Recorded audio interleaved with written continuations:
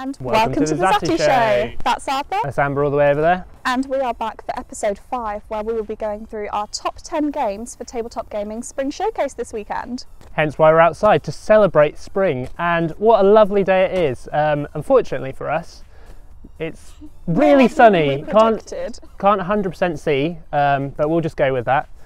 So we're going to power through. Not normally this squinty, but it'll be fine. So Tabletop Gaming have cancelled their regular Tabletop Gaming Live later on this year. We're a bit gutted about that, but instead we have got this spring showcase last weekend of March. So we're really excited to be attending this one virtually. Yeah, it's really interesting actually because this was our first event together for Zatu um, just over a year ago, 2019 September, so a bit more than a year. What were your favourite memories from that event? To be totally honest, were, every corner of the room had a different food stand. So over the weekend, me and a couple others tried to get through as many of them as we could because it was a two, three day event. Didn't quite manage, so I was excited to give that another crack this year, but that one will have to wait for next year. So your favourite thing about a board game event was the food. Yeah. That's great. That's a great start for this show. Um, we'll keep going with that. I did also play a lot of the mind. Any customer that was kind of nearby hovering on the stand, I'd just pull them over and make them play until we got to like level six. So made some enemies and friends. what did you like? Um, yeah, so I actually enjoyed the main point of the show, which was just to try a load of new games, see all the new releases. Um, got taught a lot of new games by our very own bloggers who were there, which was a really nice experience. Usually we just, they all over the country, but we all assembled them. It was kind of like the Avengers, but not quite bloggers cool. assemble. Yeah, Um, they taught me Azul. That was one of the games I really enjoyed. I get, I did get taught it wrong to start with, but I persevered. So let's get on with the show. So let's just get straight into it. We'll be going into our top 10 games that we've put on the sale for Spring Showcase this weekend. We've got our Zatu hoodies on, we're back together in the cold and we mean business. So let's get into our top 10. Up first, we have Disney's Marvel Villainous. The key word there being Marvel. Of course, this has got all your favourite uh, Marvel characters in, uh, the Avengers, obviously. In Villainous, the main selling point, I suppose, is that you play as the bad guys trying to win. What I do like about villains, you, there is an element of wanting the good guys to win though, because you want to be the first villain to fulfill your objective. So I would play Iron Man on Thanos, for example, and be like, come on, Iron Man, but leave me alone. Um, the other characters in the game are Taskmaster, not the Channel 4 TV series, Killmonger, and couldn't memorize them all, Hela. It might be another one, um, but we'll just brush over that. The other good point about this game is absolutely beautiful. The artwork on the cards is amazing. So if you love the original Villainous games and you love Marvel, this is one of the ones to get for you. So number two on our top 10 list is Tribes from Thames and Cosmos. I think there's a really good deal on this one at the minute on the website, so make sure you get your hands on it. We do have a lot of stock, but it might go soon, so make sure you check it out. In this game, you'll be playing through 30,000 years of civilization just in that short time frame of 45 minutes gameplay. So basically like how March has gone so far, to be honest, well for us anyway. So in this game, we finally have a civilization game that won't take you all day to play like the others may do. Um, as you should be able to see, there should be some footage over this of the game components themselves. It has really, really nice artwork as well, so it'll look nice on your game table. Next up, we've got Dobble Harry Potter. Um, how can I explain this? Well, it's Dobble with a Harry Potter theme. And that's really all there is to it. No, if you haven't played Dobble before, it's a great snap game, a lot quicker pace, and you are just going to want to play this over and over and over again. The Harry Potter artwork is kind of cartoony, which is a really nice touch to the game. Um, I would just advise it can get very competitive, so clear your playing space of breakable, damageable goods. So next up we have got Talisman Legendary Adventures, which is a bit heavier than Dobble Harry Potter for sure, but maybe not quite as heavy as you think. So this obviously comes from the base game Talisman, and this is more of a good gateway game if you want to get into Talisman. You can have all the fun of the regular game with a lot less playtime.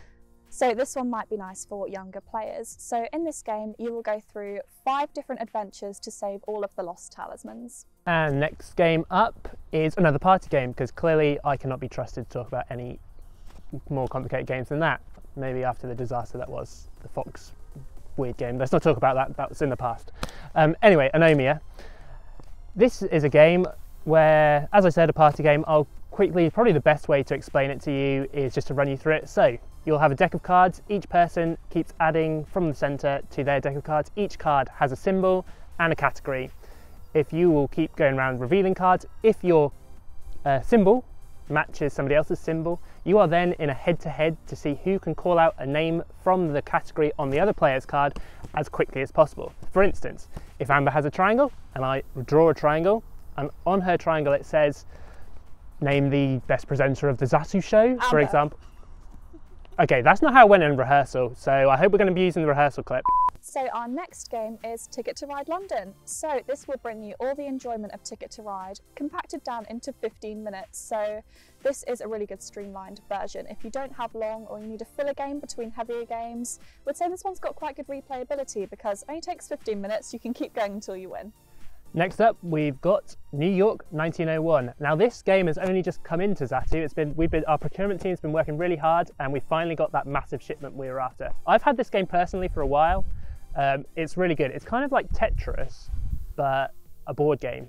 But then maybe it's not because there's no computerized element. Once the pieces are placed, you don't eliminate them. So not really then. Yeah, it's not really like Tetris at all. But they do have some strange shaped pieces. So what you've got to do is place those pieces on the board, scoring your points to recreate the New York of the early 20th century. Our next game is Obama 2. So would it even be an episode of the Zatu show if I didn't pick up Big Potato games? I love them, they're my favourite, so we had to put one of these in our top 10. So if you already have Obama Llama, the second one will bring you, I think, over 500 new cards, and if you don't, I'm pretty sure you can still play it anyway, so it works either way. So for this game, as you can probably tell, all about rhyming. We did try this yesterday, and it turns out I am absolutely horrific at this game. Can't rhyme, it's quite embarrassing actually, so we will be trying the one out later on in the show. Final one from me is Ice Cool, or as I found out yesterday, Ice School or Ice School. I I don't know. Basically, they've tried to do a pun on school and ice. Um, so basically, it's kind of like Subbuteo, if you guys remember what that was. Um, you've got um, to flick these penguins around a course, shoot them through the goals. Each player takes a turn, um, but beware, there is the penguin hall monitor trying to track you down and send you back to class where you'll learn about all those cool penguin things, like how to survive in the Arctic. That's probably a useful class. Um, but yeah, really great, fun, different game for uh, all the family, or if you just want to have a laugh, just mess around. It's a great game. So the final game of our top 10 games for Tabletop Gaming Spring Showcase, and possibly the most exciting, is Root. So this is a great game for two to four players where you will battle for control of the vast wilderness. It has a lot of strategic depth, but the payoff is really rewarding. But bear in mind, this one is a bit hard to teach new people. I tried to learn it and failed. So hopefully you'll have some more luck than I did. And while we're talking about Root, let's talk about uh, this month's giveaway. So this month you can win not only Root, but it's two expansions and they are Underworld and Clockwork. All you have to do to enter our competition is like, subscribe, and comment down below your favourite board game expansion. Last month's winner of photosynthesis was Adrian Smith. His comment uh, was his favourite season was summer, and that reminded him of Barenpark. Really nice one, definitely my favourite season. Really not thriving in the winter, so looking forward to get some sunshine again. Um, a couple of honourable mentions for really nice comments we got is Laura, who said that her favourite season is spring with Takenoko with the lovely cherry blossom tiles, and then Stephen, whose favourite season is autumn with the board game Hanabi, because you've got the fireworks or just those cosy November vibes. And to finish off the show today, we're going to be playing a few rounds of Obama Llama 2, not only to show you what a great game it is, but to, for Amber to try and redeem herself and, you know, show everyone that she does understand rhyming. I'm going to give it my all, but this is probably going to be the most embarrassing episode for me. So, producer Beth, over to you. Okay, so I have a series of Obama Llama cards for you, some of my favourites. Same old rules. First one, just shout it out. Ready? I'm ready to win. Sherlock and Doctor Strange actor dealing with an itch.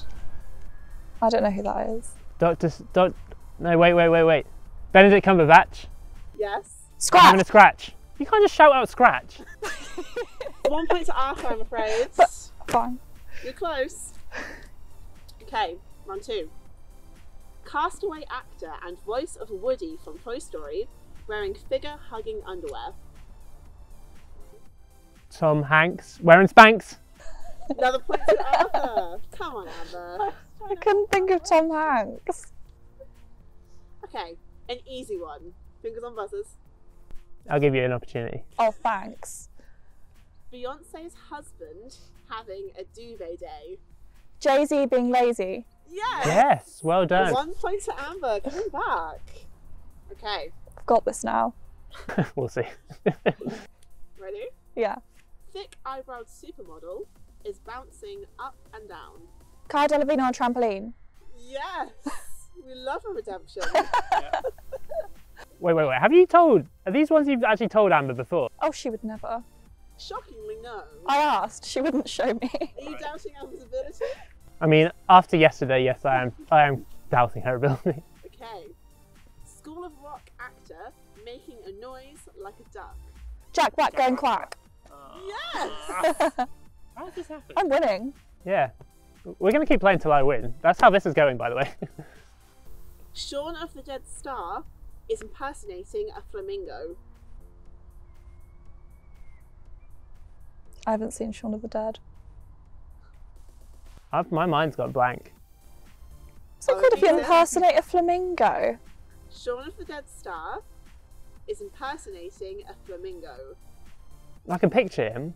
I've forgotten his name. That's terrible. This is what happens in these kind of games. I think I'm going to say pass. Do? They stand on one leg, Okay. Okay. But I don't know who the So- guy. Simon Pegg standing on one leg. Yes. Okay. Shout out to the uh, Harry Potter Dobble for this one. Ron Weasley has run out of money. Rupert Grint is skint. Yep. Last one. Mufasa's son in The Lion King is yelling a certain word after chopping down a tree. Simba shouting timber. Yes, Arthur. Yes. Also helps that Timber's my favourite song of all time. So So the results are in, and I can reveal that the winner is Arthur. Well done. I I was I was worried there for a second, but I do think you redeemed yourself. So unfortunately, that's all we've got time for this month. Be sure to check out our top 10 games and enter our competition for your chance to win a copy of Root, nearly forgot the name, and its two expansions. Yeah, we hope you enjoyed this video brought from the wilderness. So if you do have time, make sure you head over to our page on Spring Showcase. We'll have an exclusive giveaway over there as well. Won't tell you what it is, so you will have to go check that one out. And we'll see you next month. See you next month. Bye, Enjoy. Spring Showcase.